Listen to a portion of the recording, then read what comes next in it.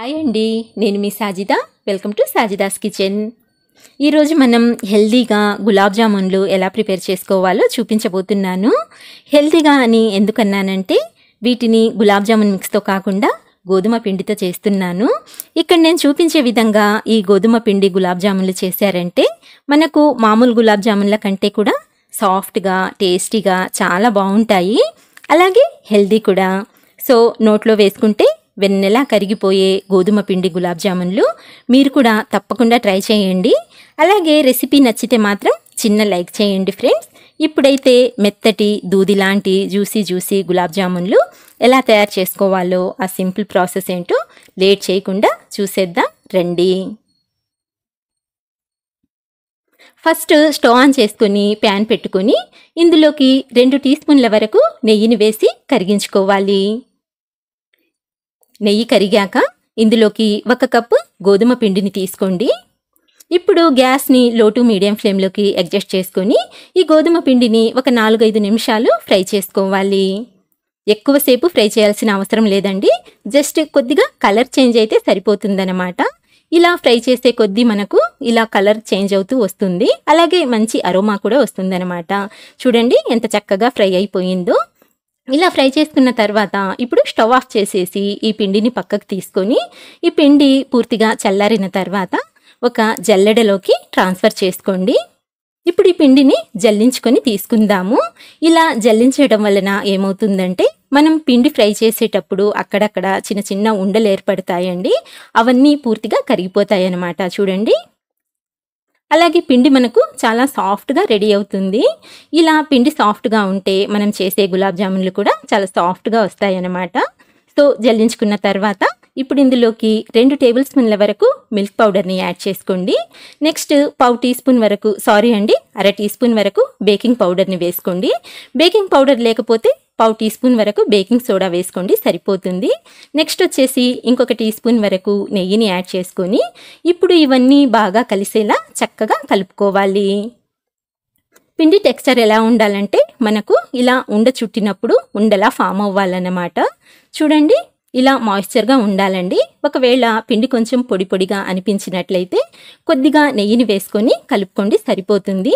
ఇలా బాగా కలుపుకున్న తర్వాత ఇందులోకి పాలని పోసుకొని ఈ పిండిని అయితే సాఫ్ట్గా కలుపుకోవాలి. అలాగే ఈ పాలు కూడా మీగడ పాలని తీసుకున్నట్లయితే మనం చేసి ఈ గులాబ్ జామున్లు చాలా సాఫ్ట్గా చాలా జ్యూసీ జ్యూసీగా వస్తాయండి. నెక్స్ట్ వచ్చేసి ఏంటంటే పాలని ఒకేసారి ఎక్కువగా వేయకుండా ఇలా కొద్ది కొద్దిగా యాడ్ చేసుకుంటూ పిండిని కలుపుకోవాలి. ఈ పిండి ఎలా ఉండాలంటే మనం చపాతీకి ఎలా అయితే కలుపుకుంటామో సాఫ్ట్గా ఉండాలన్నమాట. చూడండి ఎంత సాఫ్ట్గా ఉందో. ఇలా కలుపుకున్న తర్వాత పిండిని కవర్ చేసేసి పక్కన పెట్టేసుకోండి. ఇప్పుడు మనం షుగర్ సిరప్ని ప్రిపేర్ చేసుకుందాము. స్టవ్ మీద వేరొక ప్యాన్ పెట్టుకొని ఇందులోకి రెండు కప్పుల వరకు పంచదారని తీసుకోండి. అలాగే సేమ్ క్వాంటిటీలో వాటర్ని వేసుకోవాలి. అంటే రెండు కప్పుల వాటర్ని యాడ్ చేసుకొని ఇప్పుడు గ్యాస్ని మీడియం ఫ్లేమ్లో పెట్టుకొని ఈ పంచదారని కరిగించుకోవాలి. ఒక కప్పు గోధుమ పిండికి రెండు కప్పుల షుగర్ సిరప్ అయితే కరెక్ట్గా సరిపోతుందండి. ఇక్కడ చూడండి ఈ పంచదార పూర్తిగా కరిగిపోయింది. ఇలా కరిగిన తర్వాత మీడియం ఫ్లేమ్ మీద ఈ పాకాన్ని ఒక ఐదు నిమిషాల వరకు ఉడికించుకుందాము. ఈలోపు మనము జామున్లని ప్రిపేర్ చేసుకుందాము. వీటి కోసం పిండిలో నుంచి కొద్ది కొద్దిగా పిండిని తీసుకొని చిన్న సైజులో బాల్స్ లాగా ప్రిపేర్ చేసుకోవాలి. కొంచెం చిన్నవిగానే చేసుకోండి. ఎందుకంటే ఇవి ఫ్రై చేశాక వీటి సైజ్ అయితే డబల్ అయిపోతుందనమాట చూడండి ఇలా రౌండ్గా ప్రిపేర్ చేసుకోండి.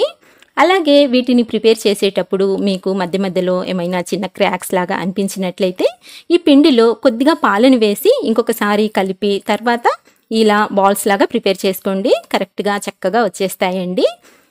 చూడండి ఈ విధంగా అన్నింటినీ ప్రిపేర్ చేసుకోవాలి. ఇలా అన్ని గులాబ్ జామున్లని ప్రిపేర్ చేసుకున్న తర్వాత వీటినైతే పక్కన పెట్టేసుకొని ఇప్పుడు మనం షుగర్ సిరప్ని చెక్ చేసుకుందాము. ఈ షుగర్ సిరప్ మనకు తీగ పాకం రావాల్సిన అవసరం లేదండి. జస్ట్ కొంచెం స్టిక్కీ స్టిక్కీగా అంటే జిగురు పాకం వస్తే సరిపోతుందనమాట ఎలా అంటే ఇలా మనం చేతి వేళ్ళతో చెక్ చేసినప్పుడు మనకు కొంచెం జిగురు జిగురుగా అనిపిస్తే సరిపోతుంది. చూడండి ఎలాంటి తీగ ఫామ్ అవ్వట్లేదు.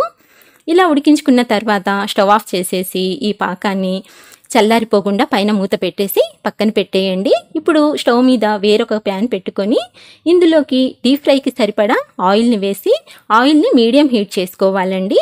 ఎక్కువ హీట్ చేయొద్దు. జస్ట్ మీడియం హీట్ చేసుకుంటే సరిపోతుంది. ఇలా మీడియం హీట్ చేసుకున్న తర్వాత మనం ప్రిపేర్ చేసి పెట్టుకున్న ఈ జామున్లని ఒక్కొక్కటిగా ఎన్ని పడతాయో అన్నింటినైతే యాడ్ చేసుకోండి. ఇలా జామున్లని వేసిన వెంటనే వీటినైతే కదపకూడదండి. ఎందుకంటే వేసిన వెంటనే కదిపినట్లయితే ఇవి విరిగిపోయే ఛాన్స్ ఉంటుంది. ఇలాగే వీటిని ఒక రెండు నిమిషాల వరకు ఫ్రై చేశాక ఇవి పొంగుతూ పైకొస్తాయన్నమాట. తర్వాత వీటిని అన్ని వైపుల నుంచి ఇలా తిప్పుతూ మంచి గోల్డెన్ బ్రౌన్ కలర్ వచ్చేంత వరకు ఫ్రై చేసుకోవాలి. గ్యాస్ని అయితే లో టు మీడియం ఫ్లేమ్లో పెట్టుకోండి. ఇది మాత్రం గుర్తుపెట్టుకోండి. హై ఫ్లేమ్లో పెట్టినట్లయితే ఇవి కలర్ వచ్చేస్తాయి కానీ లోపల పిండి కొంచెం పచ్చిగా ఉంటుందండి. ఇలా లో టు మీడియం ఫ్లేమ్ మీద చక్కగా ఫ్రై చేసుకొని మంచి కలర్లోకి ఫ్రై అయ్యాక వీటిని ఆయిల్లో నుంచి తీసేసుకుందాము. ఇలా ఆయిల్లో నుంచి తీసి డైరెక్ట్గా వేడివేడి పాకంలోకి యాడ్ చేసేయండి. ఒకవేళ పాకం కొద్దిగా చల్లారిపోయినట్లుగా అనిపించినట్లయితే పాకాన్ని కొద్దిగా వేడి చేసుకొని తర్వాత యాడ్ చేసుకోండి సరిపోతుంది. ఇలాగే మిగతా వాటిని కూడా ఫ్రై చేసుకొని ఈ పాకంలోకి యాడ్ చేసేసి ఇప్పుడు ఈ పాకము గులాబ్ జామున్లకి అన్ని వైపుల నుంచి ఇలా బాగా పట్టేలా ఒకసారి బాగా కలుపుకొని పైన మూత పెట్టేసి పూర్తిగా చల్లారేంత వరకు అలా పక్కన పెట్టేయండి.